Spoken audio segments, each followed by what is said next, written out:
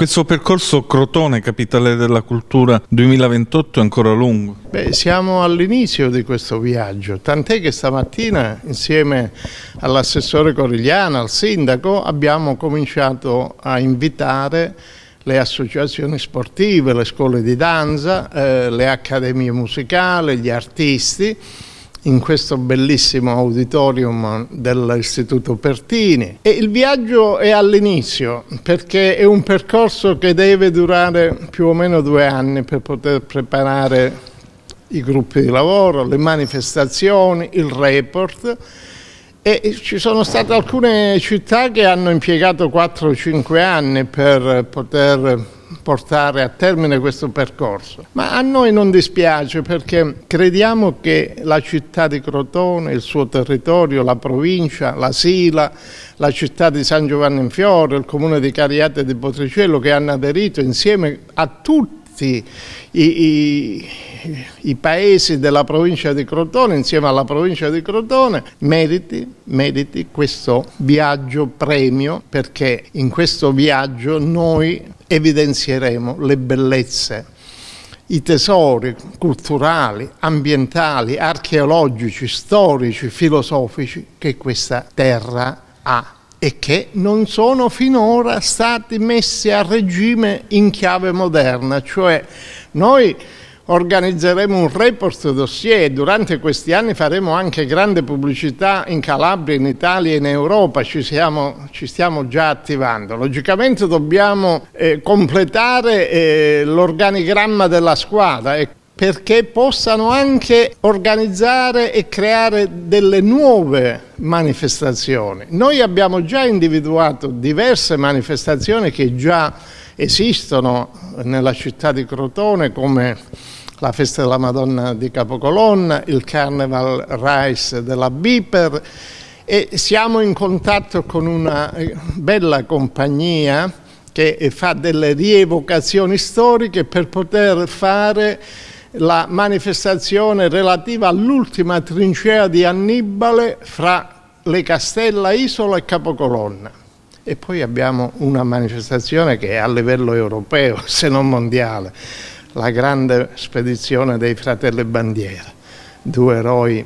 idealisti che hanno sacrificato la loro vita insieme ai 21 compagni in questa terra di Calabrese e in questa valle crotonese perché sbarcarono il 17 giugno 1844 a Bucchi, poi il loro percorso li portò nella Val di Neto, la prima scaramuccia sotto la timpa del salto di Belvedere Spinello, il bivacco nel, nella Grancia, nel monastero del Bordoi,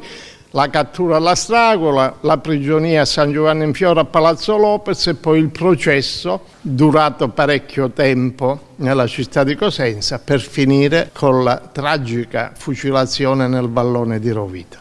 Ma eh, insieme a queste manifestazioni che hanno una risonanza, io dico, regionale, nazionale ed europea, ce ne saranno tante altre perché abbiamo in quasi tutti i paesi che hanno aderito a fare da partner delle manifestazioni di tipo religioso, eh, artistico, sportivo, culturale, eh, ci sarà la difficoltà a selezionarle perché io telefonai un anno fa a un funzionario del MIBACT per eh, chiedere chiarimenti e lui mi disse, caro dottore, ma lei non è che può scrivere un report di 6.000 pagine, lei potrebbe scrivere un'enciclopedia perché ha una città e un territorio che hanno 3.500 anni di storia da raccontare.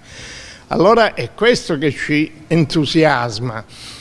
perché noi faremo anche e eh, organizzeremo un pacchetto turistico culturale di grandissimo spessore perché noi abbiamo da dare queste bellezze delle nostre spiagge, del nostro mare, delle nostre colline piene di ville, castelli, chiese e poi c'è questo stupendo altopiano della Sila con i tre laghi che sono tre perle, il lago Cecita, l'Ampollino, il lago Arvo, quindi con le nostre stazioni turistico invernali e anche estive di Trepidò,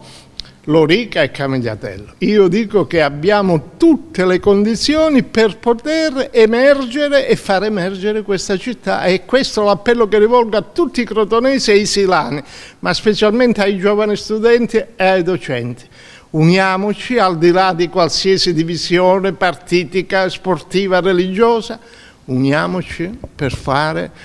di questo progetto quella grande falange di Alessandro Magno che conquistò quasi il mondo. Quindi quali sono i presupposti affinché Crotone possa diventare capitale della cultura italiana 2028? Eh, bisogna raggiungere diversi obiettivi che sono quelli previsti dal bando, una capacità progettuale nel campo della coesione sociale, dell'inclusione sociale, della creatività, dell'applicazione tecnologica ai beni culturali, quindi